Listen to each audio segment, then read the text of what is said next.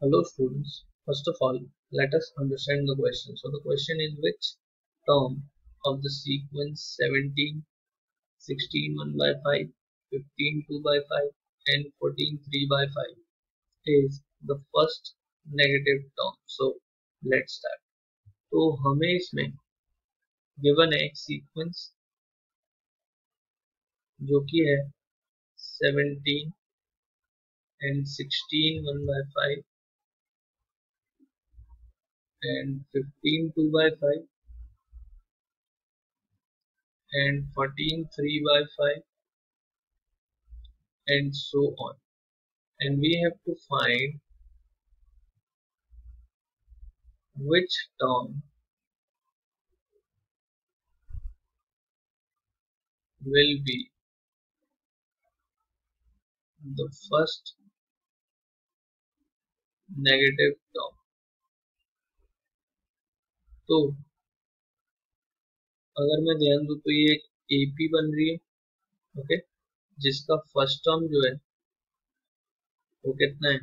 17 and common difference is 16 upon 16 1 by five minus seventeen तो ये कितना हो गया? Minus four by five okay common difference आ गया। तो अब मुझे ये बताना था कि कौन सा टर्म जो है सबसे पहली बार नेगेटिव हुआ होगा तो मैं क्या करता हूँ लेट कर लेता हूँ कि A N will be negative for some N तो अब ए एन क्या होता है?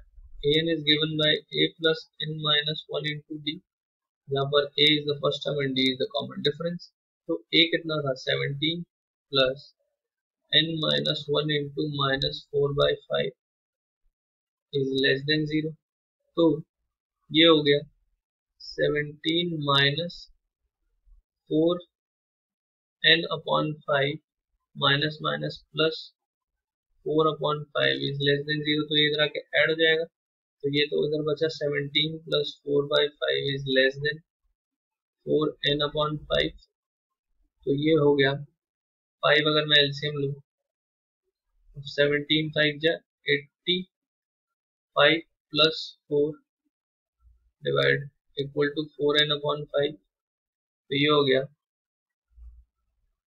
Eighty five plus four is eighty nine upon five और क्रॉस मल्टीप्लाई करूँगा तो ये आ जाएगा five upon four less than N so five से five cancel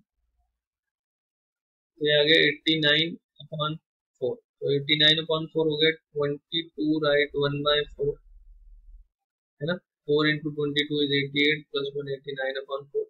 So n will be greater than 22 right 1 by 4. Therefore, I can say that 23rd term क्योंकि n जो होता है वो कभी भी फ्रैक्शन में नहीं हो सकता क्योंकि वो पोजीशन को रिप्रेजेंट करता है तो जस्ट नेक्स्ट टर्म जो होगा वो नेगेटिव रहा होगा यानी twenty third term will be the first negative term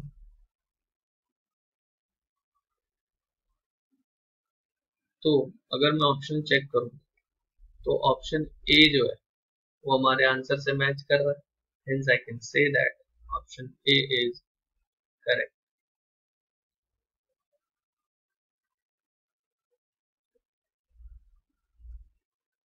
तो आई होप ये आपको समझ आया होगा। Thank you